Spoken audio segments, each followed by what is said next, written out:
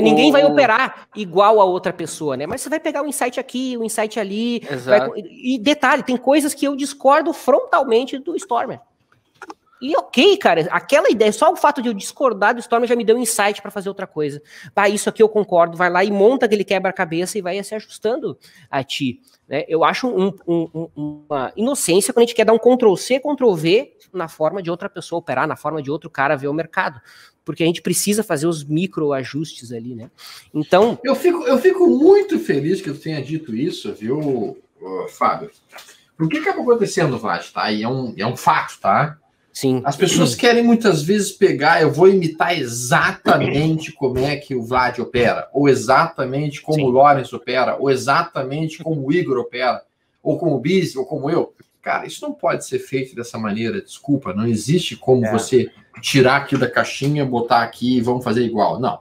O que a pessoa vai acabar construindo é uma amálgama, né? uma mistura, um pouquinho do que o Igor faz, um pouquinho do que o Capula faz, um pouquinho do que o Lawrence faz, do Vlad vai pegando as melhores práticas de cada um desses instrutores e com isso consegue construindo um estilo próprio. E a segunda coisa que eu gostei que tu disse é que você discorda frontalmente várias coisas minhas, porque o não, o, várias o não, Igor, algumas bem pouquinhs. O Igor vive dizendo que não pode falar nada contra a minha pessoa, porque ele, senão ele é podado, viu? Aí, ó, o Vlad fala um monte de coisa contra a pessoa não é podado. Não é bem assim, vai de encontro ao que eu falo. Não são os métodos que ganham dinheiro, são as pessoas. É verdade. Então, assim, o que está na cabeça do Stormer, o que está na cabeça do Vlad, do Biz e na minha, foi a forma como nós conseguimos interpretar e dar sentido para a coisa. Perfeito. Então, assim, quando a gente passa a tentar, ou as pessoas tentam copiar um método, é muito difícil. Porque você tem atitudes e expectativas diferentes da minha, do Vlad, sua, realidades diferentes. Então, eu hoje, eu falo isso o tempo todo.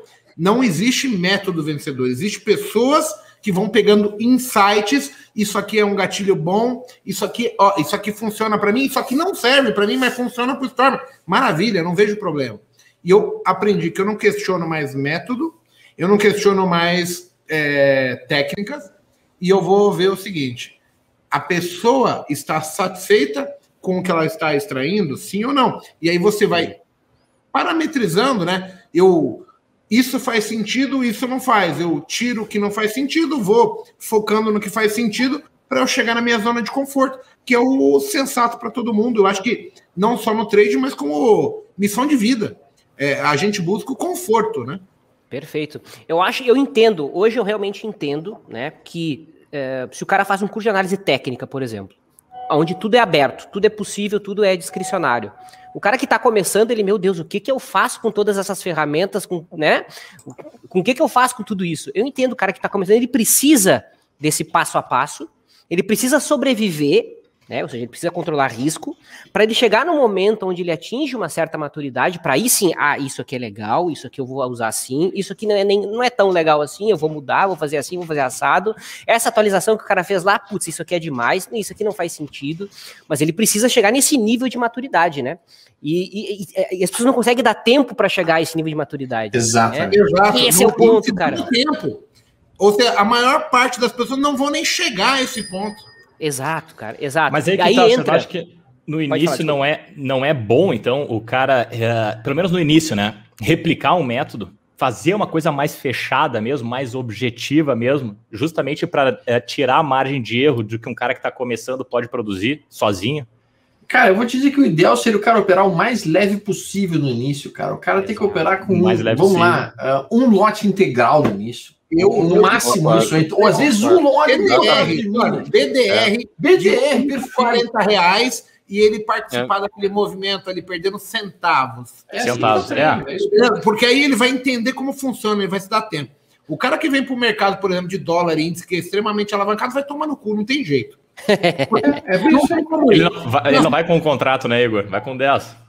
Ele não, vai, mas, mas Lawrence, mesmo que o cara vai com um contrato. Tempo, não está dando dinheiro. Aí ele fala: não, como é que eu ganho dinheiro? Eu tenho que pôr 10, pôr 15, pôr 50. Aí ele toma no cu e constrói um dano psicológico. Aí ele passa a correr atrás do rabo, e aí ele esquece aprendizado e ele está correndo em recuperar dinheiro. Cara, acabou, não tem mais. Você vai ficar naquilo, naquilo ali muito tempo. Fica no então, círculo vicioso. É. Eu, eu, passei por isso, eu acho que todo é. mundo passou, porque assim, só que eu dei sorte, eu vivi tempo suficiente para amadurecer.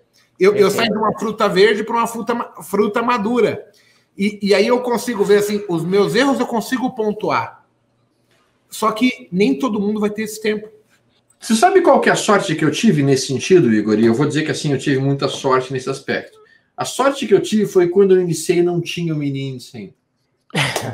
Quando eu comecei, não tinha, cara. Quando eu comecei, era ações, eventualmente termo, eu não tinha eu não tinha estofo. Outras, alavancagem, porque assim. Mas, mas e a história? Gente, e a, a história do, do, do, do, do, no cheio? E tinha Esqueci opções, o nome do, mas aquilo foi mais adiante, cara. Aquilo foi 2008. É, é, lá, toma tudo, ali. toma tudo, toma tudo. Aquilo, aquilo, não era meu início, né? Meu início foi em 98, foi 10 anos antes, né?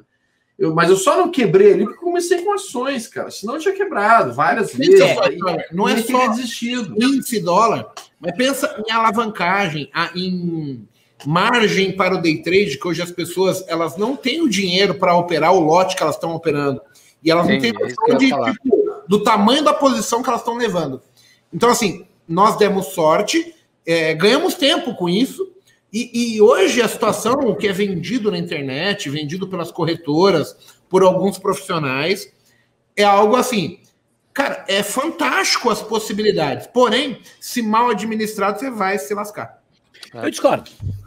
Por quê? Eu acho que, eu acho que o mercado sempre, em todos os momentos, ele teve a sua cocaína. Entendeu? Quando eu comecei, era, era opção de telemarca. Opção de telemarca. Né? É, sempre o mercado financeiro e vai dar alguma coisa. sempre vai ter, entendeu? E não só no mercado financeiro, qualquer coisa.